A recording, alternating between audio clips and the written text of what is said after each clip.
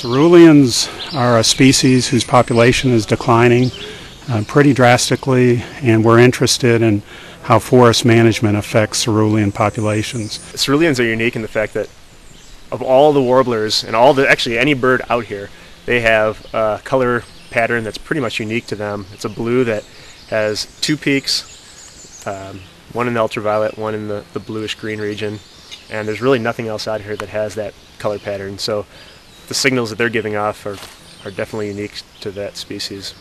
Today we've been out um, doing a variety of the standard monitoring practices that we do on the project. Um, we've banded birds today. We banded two males and um, we put a Fish and Wildlife Service band on them and we also uh, put color bands on them so we can uh, identify the individuals.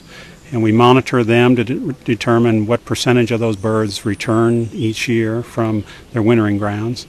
Um, we've also monitored a nest. Uh, the, they nest up here in this setting, and we're monitoring reproduction in terms of the percentage of the nests that are successful and the number of young that each nest is, produces. We're setting up in this net in order to, uh, to catch a cerulean warbler, and the only way we can get these guys to come down from the canopy is to use first a uh, decoy of a male cerulean warbler, and then second, we use a MP3 player with speakers to, to uh, play back the Cerulean Warbler's territorial song.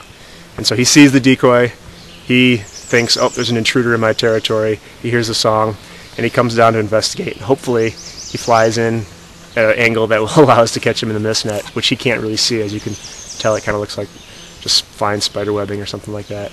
Wing chord of 68, 68.0.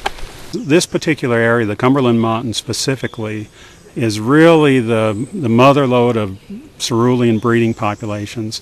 There are more ceruleans breeding in this particular area on state land here than any other place on earth. So this is a really important area for cerulean conservation because the State Wildlife Agency has the opportunity to manage for this species and protect and enhance its populations.